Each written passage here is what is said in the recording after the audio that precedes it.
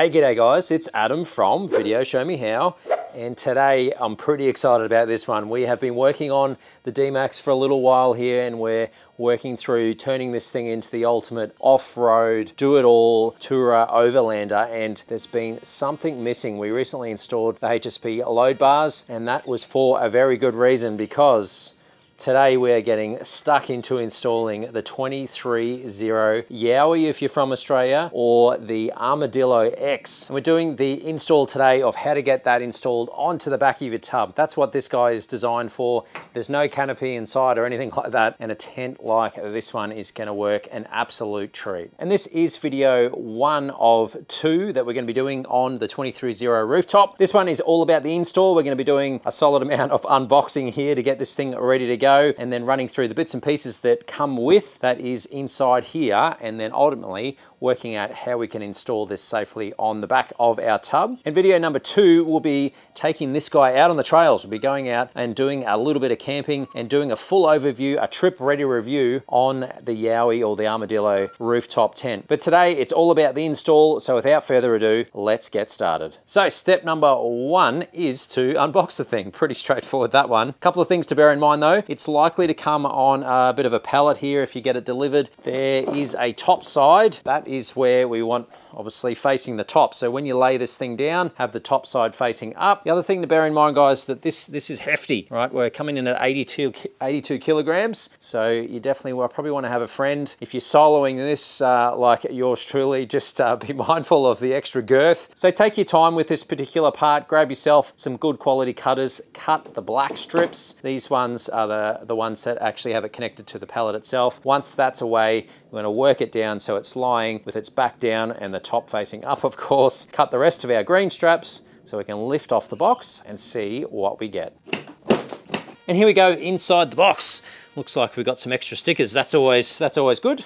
And if we start pulling this away, we can get to our tent proper. From here, it's a matter of having a look underneath, pulling all the rest of the styrofoam and shipping protection out of the way so that you can get this guy ready to be installed straight on top of your tub. Right, so once we've got it all out of our cardboard box, we've just got it sitting conveniently in the back of the D-Max. It fits in, in, the, uh, in the tub, which is pretty cool. The next step here is to remove our plastic shipping protection. Once we've got that out of the way, we'll be able to get ready to grab our bracketry, which is in here, so that we can sit it on top and start bolting it all down. And there we go, check that out. That looks awesome, very, very slick. Love the look of this thing. The contours are pretty cool. Got our logo down the bottom here looking nice and subtle, not one of those big glary logos, but just enough you know what's what. A dingo there, 23 being the center center point of Australia, which is pretty awesome in the logo. From here, I recommend getting this guy installed onto the final resting place. That also brings us to an important point when you are installing your rooftop tent. It's really important to make sure you're considering the weight of what you're installing it onto. Now this guy comes in at that 79 kilogram mark. If you were putting this on your roof of your car or, or what have you, you wanna make sure that it is rated to carry that. In our case, for example, the D-Max is good for 100 kilograms, but you need to take off anything else you've got sitting on there. So our rack up there, for example, is 22 kilos. Just make sure your net load carrying capacity is enough to safely carry the rooftop tent. So in our case, this thing is designed for sitting on tubs, so perfect in our case. So with that out of the way, we're, we're ticked that box. From here, next step is to slide that onto where we're gonna have it on the tub. Then we can get into the tent itself to pull out our bracketry and everything like that so we can final mount exactly where this is going to go. And here we go, we're on top. We've got the tent sitting in position or rough, roughly in position. We're going to need to sort of line it up uh, a little bit in a sec, but that's where we want to get it to. So position your tent on the tub where you want it in the first instance. So just make sure you've got enough of a gap here, particularly if you've got glass, that kind of thing. One other thing to bear in mind is just around the side, if you are running awnings or anything like that, the tent will open up and then up like that. So you wanna make sure that you're not scraping it on the sides here or anything like that. So I'd recommend in the first instance, you wanna do a sort of a test open. So get it all in position. Then once you've got that in position, we're gonna open the tent up so that we can get our little box that's sitting inside. And inside that little box has all of our brackets and what have you that we need to bolt this guy into position. So to open up the tent, it is stupid easy, which is one of the best things about this style of tent. There are four buckles, two on this side. They just flip up there like that. And then around to our opening side, which is on the driver's side here in Australia or the right-hand side for, for everyone else. We flip that up. That's as simple as it gets. And then all we need to do, you wanna gently push the tent up. You'll have your strap here that you can help and then just gently release it so it opens up and it should X open, which is the whole point, right? This is the awesomeness of the Yowie or the, the Armadillos, the, the X-frame there, which is pretty cool. And you can see we've got plenty of space where we can actually come across a little bit more in my particular configuration. So, so that's pretty good. We'll shimmy him this way in a moment, but what we need to get to is inside there. So it's easiest if you just open the tent up and get to that box. So to do that, from here, you just want to get your ladder ready. We can get that strap out of the way. We can pull our little, our little uh, retaining strap out of the way, a bit of elastic there. Once your elastic's out of the way, just want to keep this out of the way of the ladder so you're not hooking yourself in there, just like that's fine. Then just pull the ladder all the way out. Just give it a firm pull there. Once you're out, you want to just lever it. Ideally two hands is the go here, but just want to pull it out like that and then keep pulling it until our fold out section folds down. Now at this point, you just want to be really careful. Don't go climbing up in there or anything like that just at the minute as much as you're going to want to because we're not strapped down. And what we don't want happening is the back end here going and flipping up and sliding off or anything crazy like that. So at this point, this is basically all you need to do. I wouldn't get in there just yet. From here, what you want to do Look how dark that is. You probably can't even see that. That's the LST kicking into gear there, which is awesome. From here though, jump up on your tailgate, get inside there, and you'll find a box.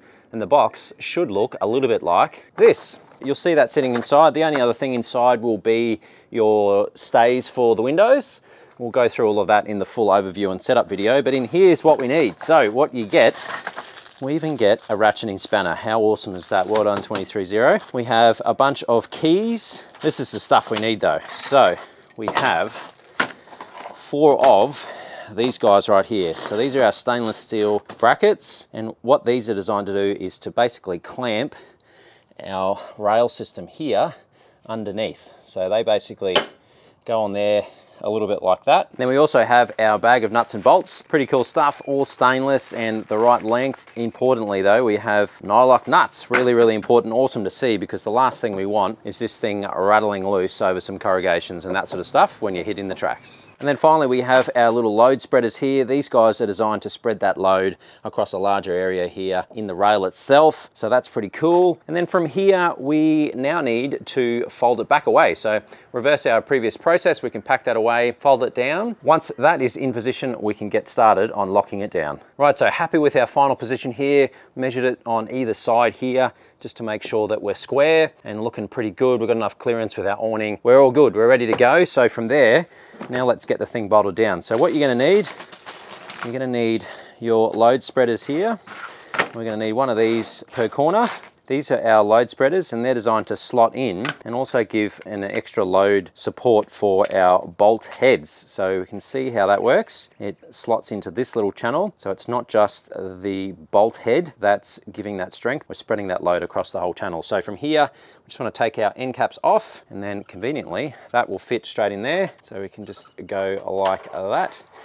What we want to do is we want to come in underneath. There needs to be one of these on both sides of our rail. Pretty straightforward stuff. So from here, I recommend getting all four slotted into here. A little like that. And then once you've got that, we want to get one on the other side of the bar down the end here. So we want to slide two down there and then have two here. Then once we have all four in position, I've gone ahead and done the same on this side there as well. So we're, we're ready to roll. Double check your measurements. Make sure you're happy with where the tent is sitting. And then from there, grab your rails here, our little plates, and where you can see one side we've got a bit of an adjuster slot. So it doesn't really matter which way you put it on, but just want to slot him on like that. And ultimately it wants to sit in there just like that. So put them all on loose to begin with, and then double check your measurements for the final time, and then we can zip all of those nylocks on for the final time. And there we go, it should look a little bit like this. Now from here, it's just a matter of cinching these guys in here together and then tightening these down. Now at this point, conveniently, we have a, a, ratchet spanner that's been included, which is just awesome to see. Now I'd recommend using this and not getting a rattle gun because you don't want to apply too much force to our brackets here. They are strong, but you don't want to go Berco and, and, and pull those out or anything like that. So as much as if you have one, you're going to be tempted to use one, I'd recommend doing it by hand. So just jump underneath, tighten all these down. It is recommended that we just go regular tight, not maniac tight. And there we go, we are all bolted down. Those nuts are looking pretty good. You wanna see about an even amount of thread on either side. So one, two, three, four, we are all bolted down. Give it the old shaking the whole car. Perfect, check that out. We are good to go. And then final step is just to reinstall the end caps here. They're just the little uh, rubber grommet things here. You can see the little end caps. They just slot into yay and yay. Pretty straightforward, a little bit like that. And then once, once they are all done, I'm gonna do this guy as well. Once they are all done, Congratulations, well done. You have fully installed your 23Zero Yowie or Armadillo X rooftop tent. Now, like I mentioned at the start of the video, we will be doing a full trip ready review on the rooftop tent. That's gonna cover things like the full pack down setup in, in timing it to see exactly how fast it is to set up and deploy, but also a full overview of everything that this guy comes with because there's a whole stack of different features that this comes with that is pretty unique in the market. That video is gonna be out very shortly after this one. I'll make sure I link it down the bottom there or up here somewhere so you can head on over and check that one out. Now, if you're new here and you're interested to know a little bit more about the D-Max build. Good news, you're in luck. There are 40 plus videos as part of the build series, so check out the playlist that's on the channel. And of course, big thank you to the patrons of Video Show Me How. Guys, thank you very much for your extra bit of support. But other than that, guys, as always, I hope that you have an amazing day, and I will see you in the next video. Cheers, guys.